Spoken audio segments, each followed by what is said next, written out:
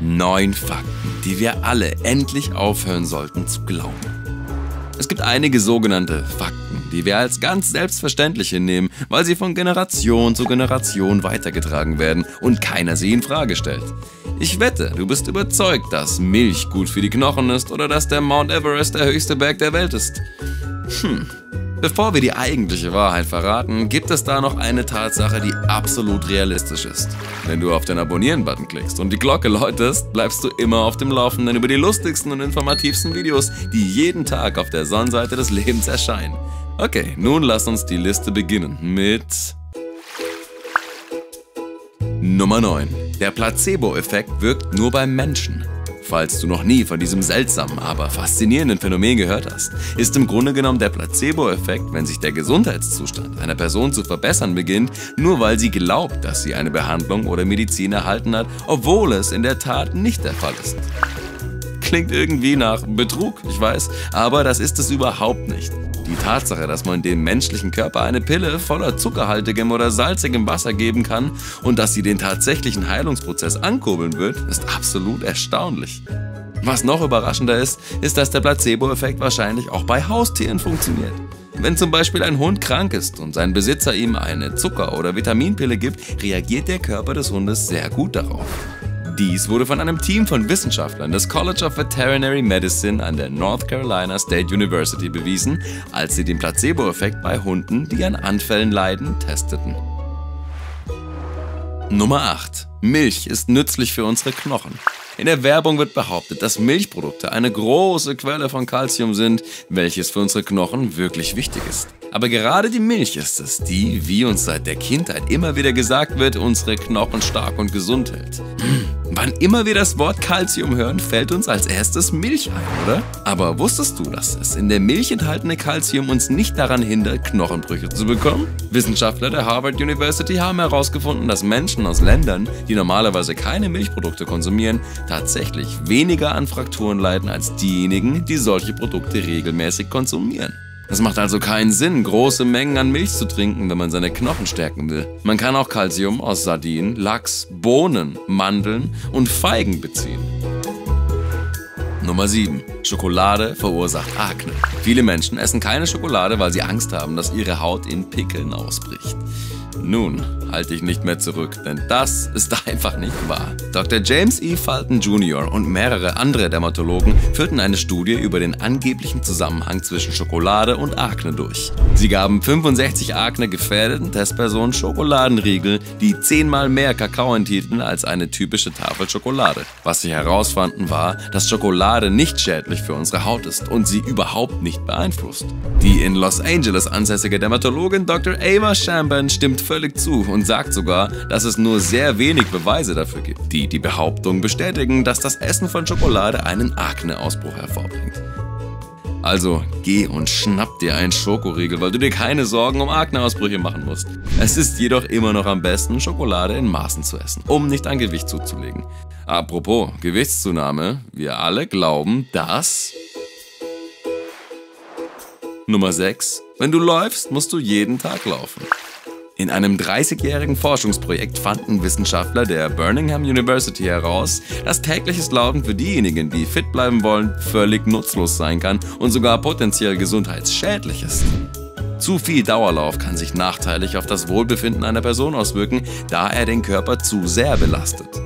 In einer anderen Studie bemerkte man Plaqueansammlungen in den Arterien von Marathonläufern, die zu einer verminderten Durchblutung führen und schließlich zu schweren Herzproblemen führen können. Wenn du fit bleiben und es genießen willst und du es mit Laufen tun willst, ist es empfehlenswert, stattdessen zu joggen und nur zwei bis dreimal die Woche, nicht jeden Tag. Die leitende Herzschwester Maureen Talbot von der British Heart Foundation sagt, dass leichtes, moderates Joggen vorteilhafter ist als anstrengendes Laufen. Nummer 5. Der Mount Everest ist der höchste Berg der Welt. Alpinisten aus aller Welt haben versucht, den vermeintlichen höchsten Berg der Welt zu erobern und einige haben es tatsächlich geschafft. Und sicher, wenn wir über Berge sprechen, die sich über dem Meeresspiegel befinden, dann ist der Everest das größte, böseste Kind auf dem Erdball. Aber wenn wir die Berge im Allgemeinen betrachten, auch die, die unter dem Meeresspiegel beginnen, ist der Everest nicht so groß, wie man denkt. Der neue Nummer 1 Spot geht an Mauna Kea. NASA, einen Vulkan auf Hawaii. Er hat eine Höhe von 4200 Metern über dem Meeresspiegel, aber die Basis liegt etwa 6000 Meter unter der Wasseroberfläche. Das gibt Mauna Kea eine Basisspitzenhöhe von etwa 10.210 Metern, was die Höhe des Everest von 8.848 Meter in der Tat übertrifft. Nummer 4. Ein schwarzes Loch ist, naja, ein, ein Loch. Albert Einstein spekulierte bereits 1916 mit seiner berühmten allgemeinen Relativitätstheorie über die Existenz von schwarzen Löchern. Der amerikanische theoretische Physiker Dr. John Wheeler prägte den Begriff und bewies 1971, dass es die Dinge wirklich gibt. Aber sind das nicht eigentlich Löcher? Naja, die NASA sagt, nein, sind sie nicht. Tatsächlich sind dies nur Weltraumobjekte, bei denen die Schwerkraft so stark ist, dass selbst das Licht ihr nicht entkommen kann. Schwarze Löcher sind praktisch unsichtbar und mit bloßem Auge nicht zu sehen. Astronomen lokalisieren sie jedoch mit Hilfe von supermodernen Weltraumteleskopen, indem sie sehen, wie Sterne, die nahe an schwarzen Löchern liegen, sich anders verhalten als andere Sterne. Nummer 3. Bei einem Gewitter bist du sicher in einem Auto. Es gibt den Glauben, dass man während eines Gewitters sicher in einem Auto ist, weil es mit Gummireifen geerdet ist.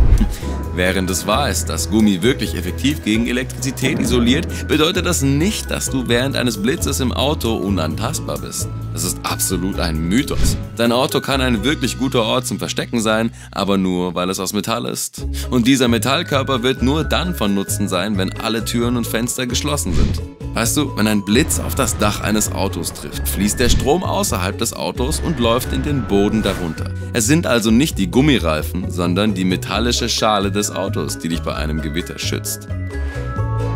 Nummer 2. Die Sahara ist die größte Wüste der Welt.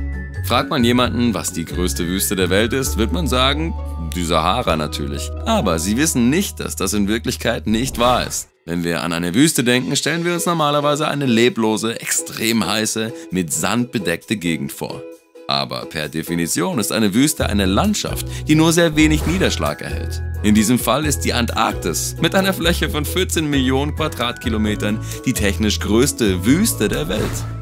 Die Sahara mit 9,2 Millionen Quadratkilometern belegt den dritten Platz. Falls du dich fragst, es gibt tatsächlich vier Arten von Wüsten. Polare Wüsten, wie die Antarktis und der arktische Norden, subtropische Wüsten, das ist die bekannte Sahara in Nordafrika und die arabische auf der arabischen Halbinsel, kalte winterliche Wüsten, zum Beispiel die Gobi in China und der Mongolei sowie das Colorado-Plateau in den USA, und kühle Küstenwüsten, wie die Atacama in Chile und die Namib im südlichen Afrika.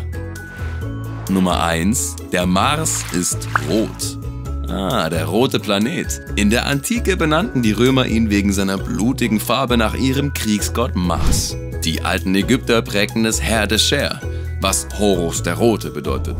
Die alten chinesischen Astronomen nannten es Feuerstern. Also offensichtlich ist dieser Ort so rot, wie er nur sein kann, oder? Naja, es dauerte nicht lange, bis in den 1970er Jahren endlich die Wahrheit über den Mars enthüllt wurde. Zu diesem Zeitpunkt war der Viking One Lander der NASA das erste Raumschiff, das von der Sonne aus auf dem vierten Planeten landete, um ein paar Schnappschüsse zu machen. Erste Bilder zeigten, dass es einen blauen Himmel gibt, keinen rosaroten.